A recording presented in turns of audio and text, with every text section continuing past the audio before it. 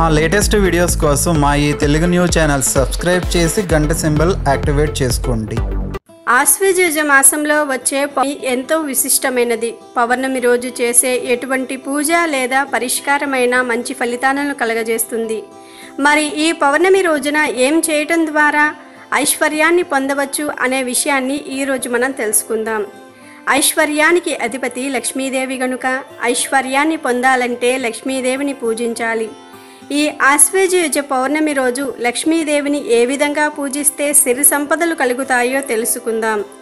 ఈ రోజు ఉదయాన్నే సూర్యోదయం కన్నా ముందుగా నిద్రలేచి శుభ్రంగా అభ్యంగన స్నానం చేసి పూజాగదిలో లక్ష్మీదేవి పటాన్ని సిద్ధం చేసుకోవాలి.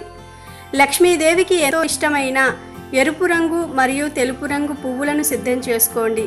ముందుగా అమ్మవారి ముందు ఆవు నెయ్యితో దీపం వెలిగించి పువ్వులను సమర్పిస్తూ ఈ మూడు నామాలను పదకొండు సార్లు జంచండి ఓం సముద్ర రాజ తనయే నమో నమః. ఓం చంద్ర సహోదరియే నమో నమః. ఓం భార్గవియే నమో నమః. ఇలా ఈ మూడు నామాలను జపిస్తూ అమ్మవారికి పూలను సమర్పించి ఆ తరువాత అమ్మవారికి ఎంతో ఇష్టమైన ఒక గవ్వను సమర్పించండి.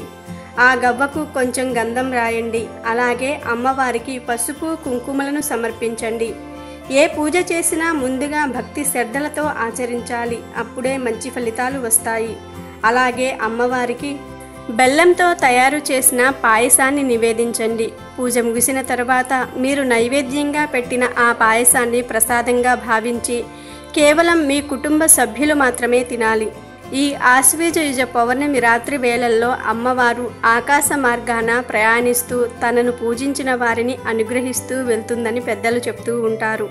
కనుక మీరు కూడా అమ్మవారి అనుగ్రహాన్ని పొందడానికి ఈ పౌర్ణమి నాడు అమ్మవారిని పూజించండి. అమ్మవారి కటాక్షం కారణంగా దరిద్రాలన్నీ తొలగి సకల సంపదలు కలుగుతాయి.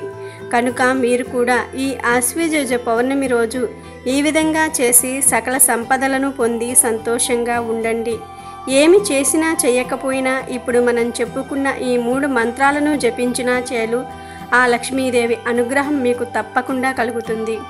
వీడియో నచ్చితే లైక్ చేయండి షేర్ చేయండి బట్ సబ్స్క్రైబ్ చేసుకోవడం మర్చిపోవద్దు.